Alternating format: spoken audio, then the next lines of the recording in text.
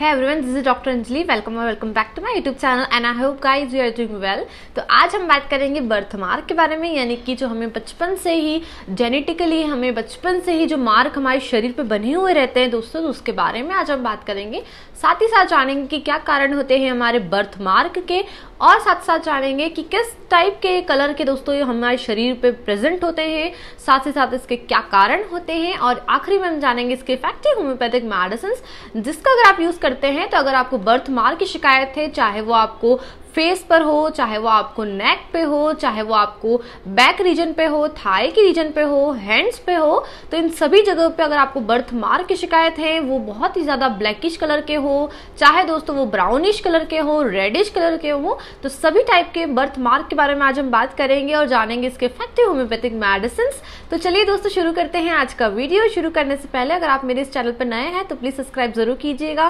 पास में bell icon है, उसे भी आप ज़रूर प्रेस कीजिए ताकि आपको आने वाले अपकमिंग वीडियोस की नोटिफिकेशन आप तक पहुँच सके। So let starting the video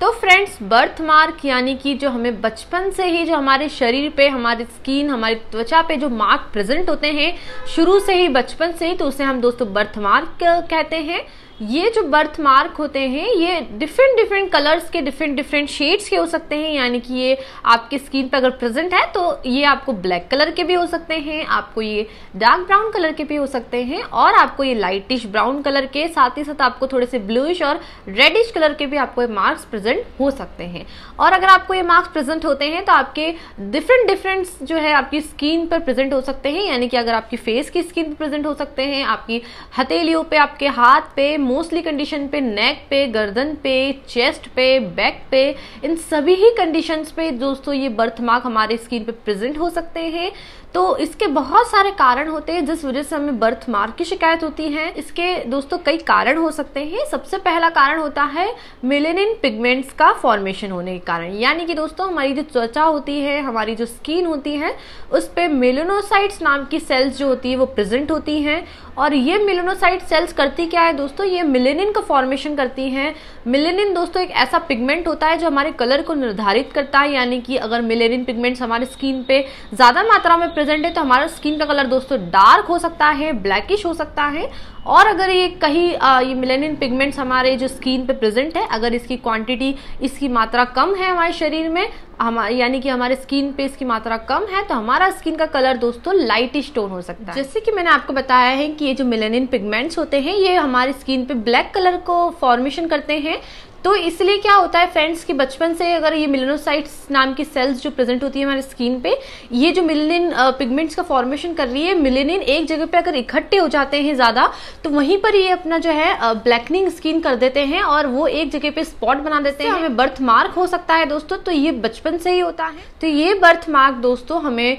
इस मिलेनिन पिगमेंट के कारण हो सकता है। अगर आपको बर्थ मार्क जो है दोस्तों ये ब्लैकिश कलर का या फिर डार्क ब्राउन या लाइट ब्राउन कलर का है तो इसका कारण हो सकता है मिलेनिन पिगमेंट्स के एक जगह पे इकट्ठे होने की वजह से ये आपस में जो है एक स्पोर्ट बना देते हैं जिसे हम बर्थमार्क दोस्तों कहते हैं। अगर दोस्तों आपको ब्लैक ब्लैकिश और डार्क ब्राउन के अलावा अगर आपको रेडिश कलर के अगर आपको बर्थ मार्क आपको बर्थ मार्क जो है वो रेडिश कलर के हैं तो वो हो सकता है कि आपकी जो ब्लड वेसल्स होती है यानी कि जो खून की नलियाँ होती हैं वो ब्लड वेसल्स की ओवरग्रोथ हो जाती है हमें बचपन से ही यानी कि बाय बर्थ से ही तो उस वजह से वो आपको रेडिश कलर के जो है बर्थ मार्क शो करता है तो अब जानते हैं इसके दोस्तों कि कैसा हमें बर्थ मार्क दिखता है। ये जो बर्थ मार्क होता है दोस्तों, ये हमें ब्लैकिश या डार्क ब्राउन या लाइट ब्राउन कलर के हमारे स्किन पे पैचेस बन जाते हैं। यानी कि एक पैचेस के फॉर्म में जो इरेगुलर शेप के हो सकते हैं, यानी कि इसकी जो मार्जिन होती है, वो इरेगुलर भी हो सकती है और इसकी मार्जिन कभी कभी रेगुलर भी हो सकती है। यानी कि सर्कुलर पैचेस बन सकते हैं। कभी इरेगुलर मार्जिन वाले भी आपको पैचेस आपको स्किन पे दिख सकते हैं। साथ ही साथ दोस्तों, ये रेस्ड भी हो सकते हैं। यानी कि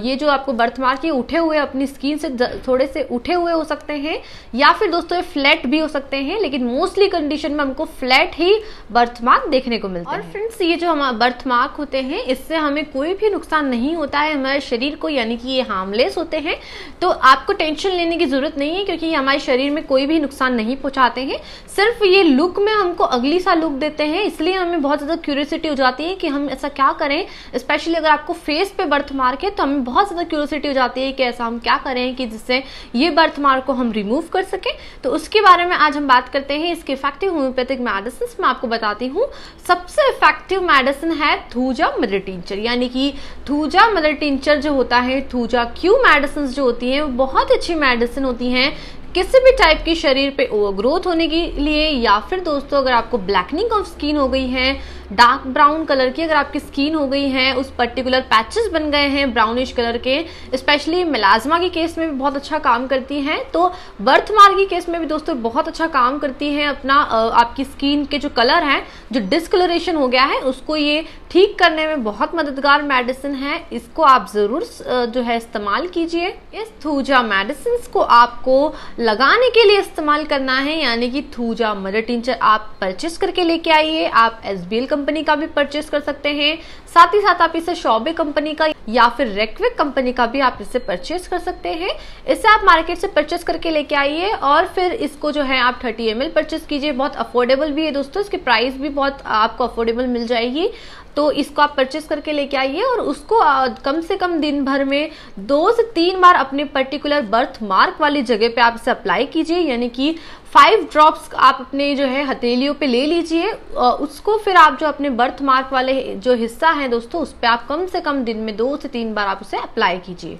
ये जो बर्थ मार्क होते हैं, जो हमें बचपन से ही होते हैं दोस्तों मार्क हमारे स्किन पे होते हैं, ये जो मार्क होते हैं, शुरुआती में बहुत छोटे होते हैं और धीरे धीरे हमारी स्किन जैसे ही हमारी स्किन जो है धीरे धीरे अपना जो है सरफेस एरिया बढ़ाती है, यानी कि अकॉर्डिंग टू एज के हिसाब से हमारी जैसे जैसे उम्र बढ़ती जाती है तो हमारी स्किन जो होती है दोस्तों उसका सरफेस एरिया बढ़ता है, जिस वजह से बर्थ मार्क जो होता है, वो पहले छोटे होते हैं और फिर धीरे धीरे वो जो है बड़े होने लग जाते हैं। तो उसके लिए ये थूजा मेडिसिन बहुत अच्छा काम करती है। आप इसे लोकली जो है उस बर्थ मार्क के वाले जो एरिया है, उस पर आप कम से कम दिन में दो से तीन बार आप उससे अप्लाई कीजिए। सेकेंड जो मेडिसिन है दोस्तों, वो है बर्बरीज अकाफोलियम मदर टिंचर ये भी बहुत अच्छी मेडिसिन है। फ्रेंड्स हमारे पर्टिकुलर स्किन के लिए बहुत अच्छा काम करती है हमारे स्किन पे। जो डिस्कलरेशन हो जाता है, यानी कि हमारे स्किन पे ब्लैकिश कलर के स्पॉट्स या फिर दोस्तों ब्राउनिश कलर के स्पॉट्स बन जाते हैं, धब्बे बन जाते हैं। जैसा ही इस बर्थ मार्क में होता है दोस्तों तो उसके लिए बहुत अच्छा है। हमारे स्किन के कलर को लाइट करने के लिए बहुत अच्छी काम करती हैं।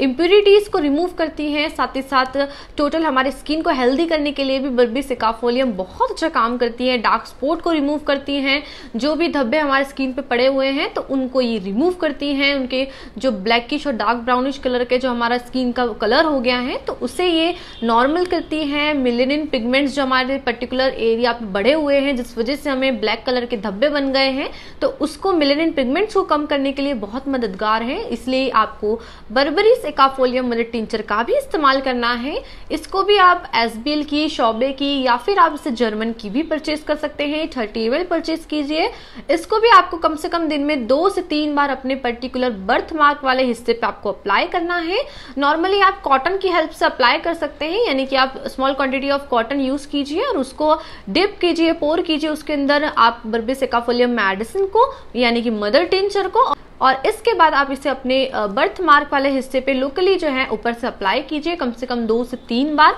तो आपको बहुत अच्छे रिज़ल्ट मिलेंगे। आपकी जो पर्टिकुलर वो बर्थ मार्क वाला हिस्सा है, वो जो ब्लैक डार्क ब्राउन या लाइट ब्राउनिश कलर का है तो वो धीरे धीरे अपना उसका डिस्कलरेशन जो है नॉर्मल स्किन के जैसा हो जाएगा तो वो आपका बर्थ मार्क धीरे धीरे रिमूव हो पाएगा। फ्रेंड्स ये दोनों ही मेडिसिन जो मैंने आपको बताई है, दोनों ही मेडिसिन को आपको लगाना है, यानी कि लोकली अप्लाई करना है इस मेडिसिन को, और ये मेडिसिन आपको बहुत अच्छे रिज़ल्ट देगी, और इन मेडिसिन को आप कम से कम तीन महीने तक अपने फेस वाले, अपने बर्थ मार्क वाले हिस्से पे आप इसे अप्लाई कीजिए। चाहो फ्रेंड्स तो आप इसे रोज वाटर के साथ ऐड करके भी जो है आप इसे अप्लाई कर सकते हैं, और ये दोनों ही मेडिसिन को आप कम से कम दिन में दो से तीन बार अप्लाई कीजिए अपने बर्थ मार्क वाले हिस्से पे, और कम से कम तीन महीने तक आप इसका रेगुलर इस्तेमाल कीजिए। आपका जो वो हिस्सा है पर्टिकुलर एरिया है बर्थमार्क का, जिसमें डिस्कलरेशन हो गया है